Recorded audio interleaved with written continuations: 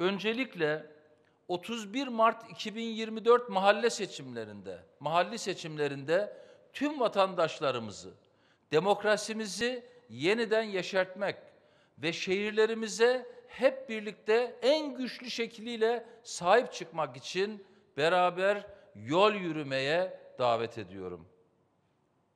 İstanbul'da 16 milyon vatandaşımızın şehirlerinin eşit hissedarı olduğu bir anlayışın hakim olması gerekmektedir. Şimdi seçimlerde İstanbul'u hep birlikte tekrar kazanmak için bir araya gelmeliyiz. Dört sene boyunca olduğu gibi 16 milyona eşit hizmet götürmek için yola çıkıyorum.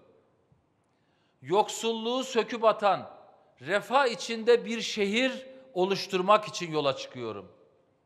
Katılımı ve ortaklaşan aklı merkeze almak için dünyanın tüm teknolojik yeniliklerine ve gelişimine ev sahibi olmak için yola çıkıyorum.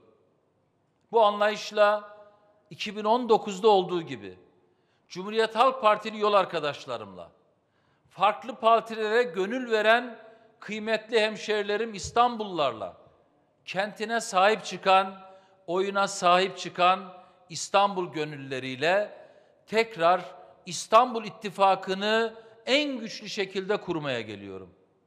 İstanbulluları ve tüm yurttaşlarımı da bu yürüyüşe davet ediyorum.